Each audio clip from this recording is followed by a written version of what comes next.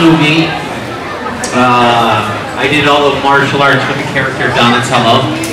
Uh, any Donatello fans out there? Yeah.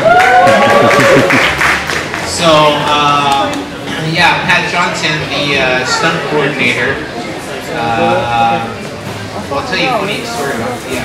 Anyways, Pat Johnson, he had known me since I was, I don't know, eight years old doing martial arts, demonstrations, competing, that kind of stuff. And uh, Golden Harvest was the production company for uh, the Ninja Turtle movies. They were also the company that produced all the early Bruce Lee, Jackie Chan, Jet Li movies. Uh, they were, they, you know, they were actually my favorite martial arts movie company. Uh, so when I got the call that one of the uh, Hong Kong stuntmen had hurt his back in pre-production, and they were looking for somebody, I was like, yeah, Golden Harvest, Jim Henson. I mean, just that alone was like Jim Henson and the guys who make Bruce Lee movies. Uh, yeah, that sounds super cool. So uh, yeah, I worked on the first movie, did all the martial arts, and then uh, I was taken out of the costume in, in the second movie to play Keno. So uh, yeah, the short version. Okay, so that's kind of a recap of yesterday for y'all- for those of y'all that were here. Um, that answered all of my questions. So if it's alright with you, I'm open up the floor. Sure. Anybody have a question?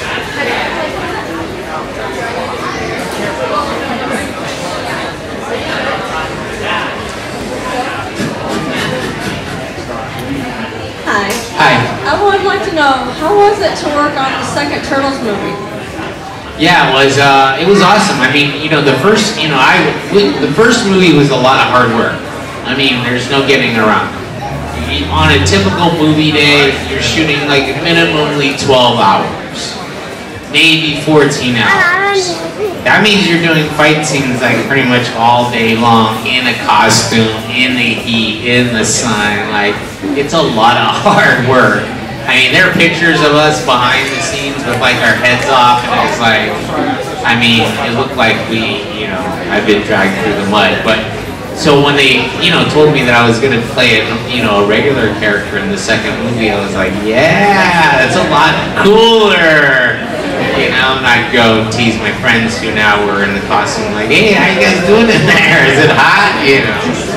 Well, I gotta say, you did a great job. Yeah, thank you. I appreciate it.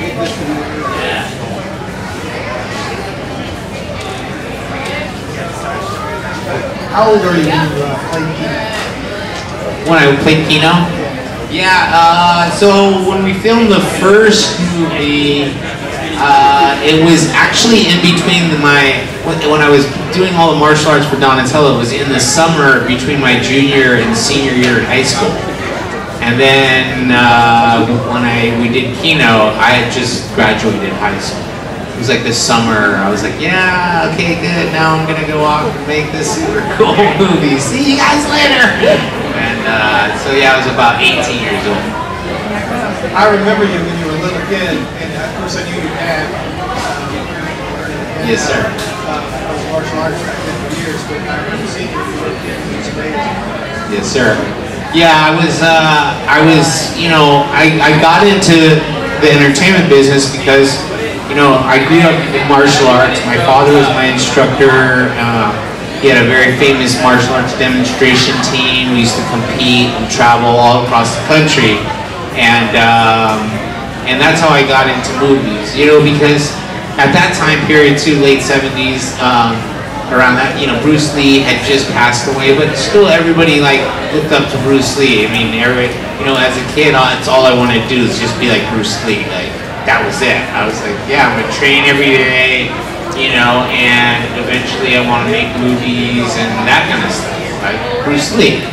And uh, so I was fortunate enough to have a dad who, you know, helped me in my martial arts and supported me getting into acting and stuff. But uh, I was doing a martial arts demonstration in Las Vegas, and the lady who eventually became my manager, you know, went up to my dad after the demonstration. We did a demonstration, the crowd went crazy, and this lady comes up to my dad and is like, "Does he speak English?" had my little bowl haircut, you know, Bruce Lee. Yeah, he speaks English. Ernie, get over here. And, uh, you know, I introduced myself. We were just competing in martial arts, so we didn't really, like, making a move, you know, you have to come to Los Angeles, like, we don't really, we live in San Jose, California, and we're doing martial arts, we're traveling, like, really can't do that right now. And then like cut to like four or five years later, we had done the tournament thing and traveled and and so um, we were like, you know, maybe it was time to get into movies, you know. So uh, my dad found the car five years later of the lady and called her back up and was like, hey, you know, we're kind of done competing now. Uh, maybe it's time for us to try to give that, you know, entertainment thing a, a, a shot. A, a, shot. And the lady was like over the phone. She's like, yeah, well, but has he grown any? You know. And my dad's like, nope. I was pretty much the same size like five years later that I was when I was like eight years old. It's like now it was like 12 but I was pretty much exactly the same size. Anyway, she ended up becoming my manager and uh, and was really instrumental. Without her, I would have nothing would have ever happened. I would have just been a dream. But she really, I was the one who facilitated me getting into business. I owe a lot to her. All right, well, I'll see you guys later. Nobody has any other questions. how, how was it working on? And do you have any funny stories? Where is this coming from? Right here. I'm like, where are I hear voices? How is it working on? And do you have any funny stories from working on Surf Ninjas? Uh, Surf Ninjas, yes. So Surf Ninjas, you know, after New Line Cinema was the one who uh, distributed uh, Ninja Turtles, and after the second movie, you know, I was starring in it, and it was very hugely successful. That Monday, they were like, "Yeah, we want to do movies with Ernie," and so they brought you know me in, and they were like, "Yeah, we want to do movies," and they were, we were trying to like figure out like, "Well, what is that?" Like, they were like, "Well, we got to pair you up," you know, maybe it's like you and Hulk Hogan, and like, okay, and like, or are you and Jackie Chan? And Jackie Chan hadn't done any movies here. And so, actually, the writer Dan Gordon, who wrote Sidekicks, uh, came in and he pitched a couple of stories. And uh, what eventually became Surf Ninjas with, I think, like Surf Ninjas, Surf Warriors of the South China Sea, and you know that was a, actually the original title that before it became Surf Ninjas. And uh, yeah, and so uh, I don't even remember what I was saying. Oh, Surf Ninjas. So um, yeah, so it was kind of cool, but you know the thing that was it was the hard part about Surf Ninjas for me, like on a production level, was like we were trying to do this movie, and it's like the first chance that I was like gonna get to star in the movie, and there was a producer on it, but I was also like a 19 year old kid, like you know, so um, you know we didn't really have a lot of time. Honestly, like we we shot the whole movie in like five weeks, which included like filming in Thailand. So it's like going to Thailand, coming back to Thailand, and then shooting the rest in like Santa Monica and Venice. Um, but funny stories. I mean, I don't know. It's just uh, yeah, that movie was. I, I mean, uh, it, here here was the thing is like when that movie came out, we did like test screenings of Surf Ninjas. So Ninja Turtles 2 comes out and like, I don't know, it was pretty quick. Like two years later we were like, had Surf Ninjas done and we were like in the movie theaters. And we were testing the movie, which, I don't know, you guys are all familiar with testing. They like basically show the movie and then like ask questions after, you like it, and you rate it, excellent, great, good, whatever, fair, poor, sucks.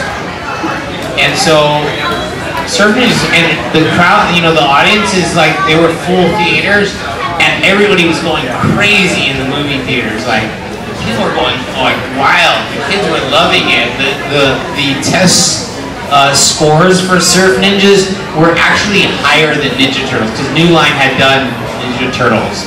So the test scores on like Ninja Surf Ninjas were just through the roof. We thought it was going to be a huge hit.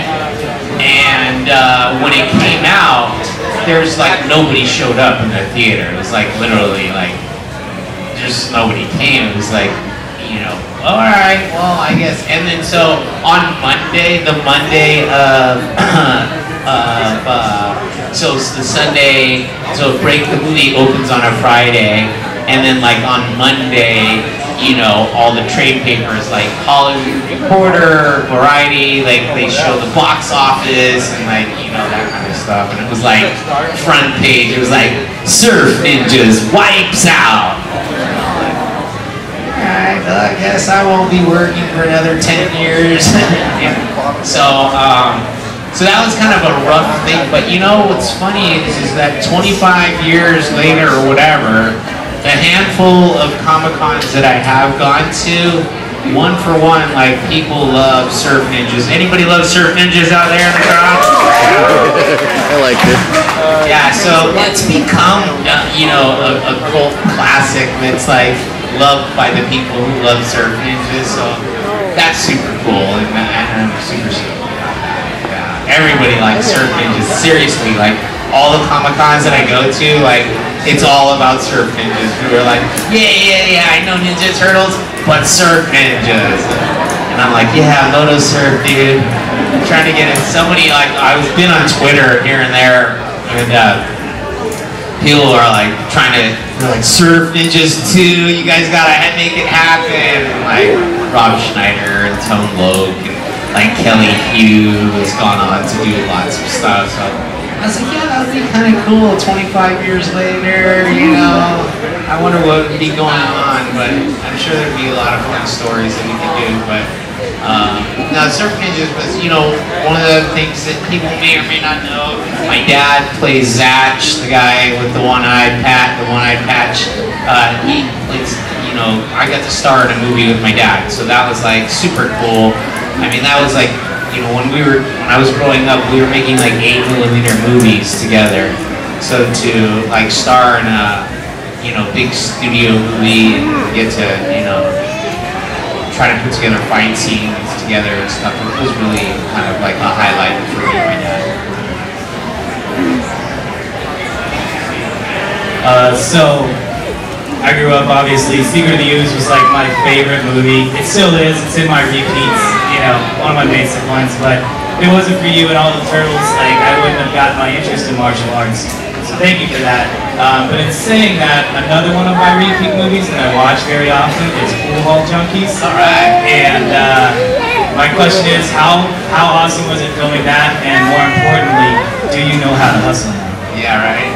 So I don't know. Does anybody know pool hall junkies out there? A handful of people. That's good. That's like now we're going deep into the Ernie Reyes Junior Library. Um, pool hall junkies is yeah awesome. Um, for my character, just to give, give some of the people backstory who haven't seen the movies, you know, my parents save up their entire lives working super hard uh, for me to go to college, and I take the money that they uh, saved up their entire lives to go to college with, and and uh, go spend it gambling in the pool hall.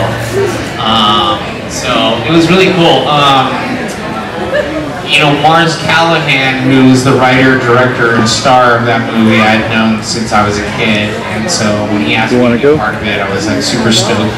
And it was an amazing cast, like Christopher Walken and Chaz Palminteri and Rod Steiger, his last movie, like legendary actor. Ricky Schroder and all kinds of crazy people. But like, I'm a huge Christopher Walken fan too, so I was like, oh man, Christopher Walken's in this movie, you know. And uh, it was funny because uh, we were in the makeup chair, and I'm sitting down, and I'm looking, you know, in the mirror, and the lady's like doing makeup or whatever, and Christopher Walken is sitting next to me, you know, in the chair getting his hair and makeup done, and I'm like just looking. I'm not saying anything. Like you know, the guy's like a legendary actor, and I'm not gonna bug him or anything. Just gonna sit here and kind of just stare at stare at him. I'm like looking there, and yeah, he looks over at me. And it's like, yeah. So I was watching Jerry Springer last night, and, and he goes on to this whole story. I, I'm horrible at a Christopher Walken impersonation, as you can just tell. Um, but it was super cool because you know, I don't know how many years later it was. I ended up uh, working with him again on the rundown. So I have two movies that I got to uh, be in with Christopher Walken, which was kind of like a huge bucket list thing. Um, but yeah, pool junkies was awesome. You know, I shot some pool like just you know in the day. Know, hanging out in in the '90s, just like playing pool here and there. And actually, Mars and I used to go to a place called Hollywood Billiards in Hollywood, and that's kind of where he knew I played pool a little bit. Uh, I don't. I wouldn't say I can, can hustle anybody, but I- I'm good for a game or two. So eight or nine ball. Yeah, uh, either or is good. Um, yeah, it was amazing. I mean, and then we had all these pros and people that I didn't even know, but like you know, helping to set up some of the, trick shots they were making in that movie. And yeah, it was it was awesome. We uh, I was I was actually you know it was actually the, one of the first movies that I ever got to do where I wasn't doing martial arts in it. So that was like super cool for me. I'm like, you know, I don't have to go do a fight scene. You're like, no, we're just gonna go over here to the bar and hang out and play pool. I'm like, oh, that's pretty good. yeah. So yeah, Pool Hall Junkies is one of my my uh, personal favorites.